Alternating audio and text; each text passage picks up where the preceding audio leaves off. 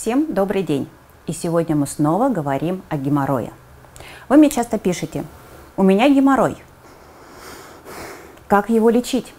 Казалось бы, достаточно простой вопрос, требующий простого ответа. Это для вас. А для меня, как для врача, это сложный вопрос, требующий большое количество уточняющих моментов. И как раз об этом мы сегодня поговорим.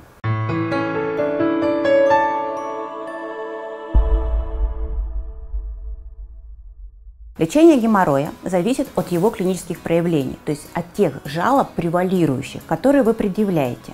Наиболее часто это выделение крови во время дефекации различной степени интенсивности, и об этом я уже неоднократно говорила.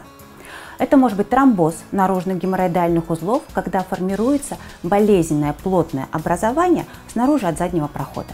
Это может быть а, выпадение внутренних узлов, Узлы могут выпадать как во время дефекации, так и во время ходьбы, либо интенсивной физической нагрузки. И я тоже об этом уже неоднократно писала в своих статьях на сайте. Также это может быть наружные геморроидальные узлы, то есть кожные складочки, которые формируются вокруг заднего прохода и никакого дискомфорта вам не причиняют.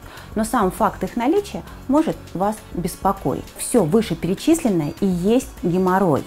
Поэтому будьте добры, когда вы мне пишете, и задаете вопросы о том, что каком же, каким же образом в вашем случае лечить геморрой, уточняйте, что вас беспокоит. Ведь в одном случае достаточно будет проведения консервативной терапии, в другом – малоинвазивных операций и в третьих – только геморроидектомии.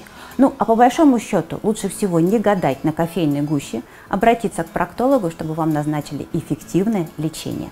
На сегодня это все. Надеюсь, я подробно рассказала, что же такое геморроидальная болезнь и каким образом она может проявляться. Поэтому ставим мне лайки, подписываемся на мой канал и узнаем еще больше полезной информации. До новых встреч!